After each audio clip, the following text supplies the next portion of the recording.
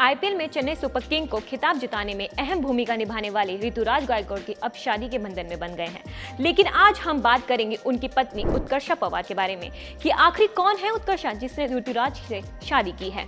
आपको बता दें कि उत्कर्षा मराठी परिवार के सदस्य हैं। उत्कर्षा अमर पवार का जन्म 13 अक्टूबर उन्नीस सौ अट्ठानवे को महाराष्ट्र के पुणे में हुआ था। उन्होंने 11 साल की उम्र में क्रिकेट खेलना शुरू किया था। बाद में उन्हें महाराष्ट्र महिला टीम में शामिल होने के बाद चयन मिला। वह फुटबॉल और बैडमिंटन खेलती थी और खेलों में हमेशा सक्रिय रही हैं। उन्हें डांस करना भी बहुत अच्छा लगता है। वह कथक डांस भी सिखाती हैं। उन्हें अपना आखिरी मैच नवंबर 2021 में सीनियर वुमेन्स वर्ल्ड ट्रॉफी में पंजाब के खिलाफ खेला था। वे साल 2019 में under 23 T twenty challengers trophy की भी इंडिया सी के लिए भी खेल चुकी हैं। ऋतुराज गायकवाड़ और उत्कर्षा दोनों एक दूसरे को कई सालों से जानते हैं।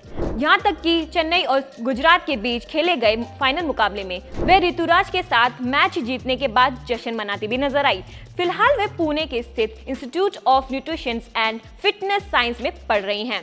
साथ ही आपको बता देते हैं कि उनका नाम महिला प्रीमियर लीग की नीलामी की सूची में भी दिया गया था, लेकिन वहाँ वो खरीदी नहीं गई। यहाँ अब उत्कर्षा पवार ने चेन्नई सुपर किंग के बल्लेबाज ऋतुराज गायकवाड़ की से शनिवार को शादी कर ली।